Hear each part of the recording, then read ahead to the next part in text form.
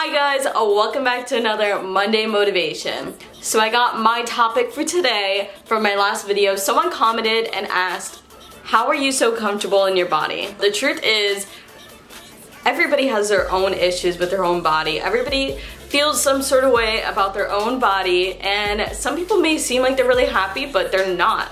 I personally have always dealt with being too skinny.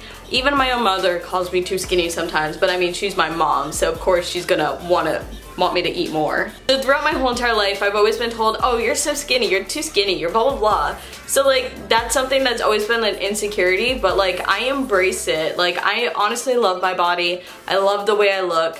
Um, I just, I'm happy with my life and the way I am.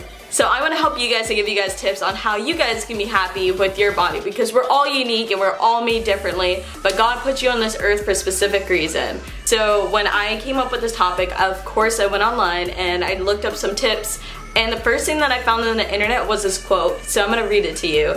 And I found this on a website called Tiny Buddha.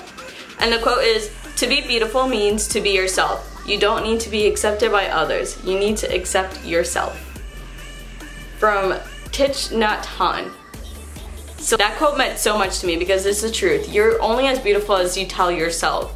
No matter how many times someone tells you you're beautiful, it won't matter unless you tell yourself that you're beautiful.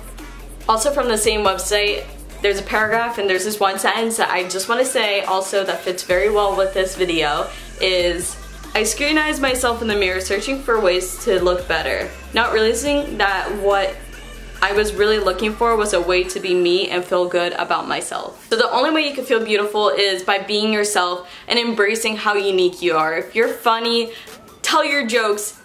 If you're if you're corny like me, tell your corny jokes and be happy. So the first tip I will say is pretty basic. Um, taking care of yourself. Making sure you shower, brush your teeth, eating the right foods. You just want to make sure that you're taking care of your body so then that way you're able to embrace your beauty. Another tip that I also personally want to start doing and trying to do every day is meditating. A meditation that I found at huffpost.com is to place your hands over your heart and say to yourself slightly or out loud, may I be safe, may I be happy, may I be healthy, may I live with ease. Repeating that four times to yourself will help you feel more at ease. And then also repeating the same things but touching a, a part of your body that you don't feel comfortable about or that you feel like you can change. Just put your hands over that place and then repeat it again four times and it should help you. And if it doesn't, you can always find a different way or find other words that will help you feel more at ease. Another tip is throughout the day, make sure you're telling yourself that you are beautiful. Tell yourself that you're happy. Tell yourself all these kind things to yourself. Say, you know what, I love this new freckle. It brings out my inner beauty. Telling yourself all these positive things will make you feel more positive. It is scientifically proven that self-motivation does make you feel positive and motivated. When you're on your way to school, make sure you tell yourself, I look beautiful today. While you're walking to class, say everybody's looking at me because they love the way I look. They love my outfit. They love my hair. They love the way I look. They love my face.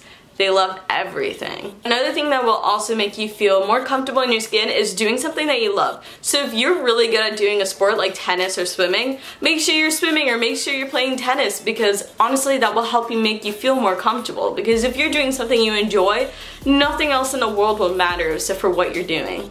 Another thing is always like I said before, embracing who you are. Like I like to consider myself a YouTuber, so why not embrace it? Why not embrace what I do?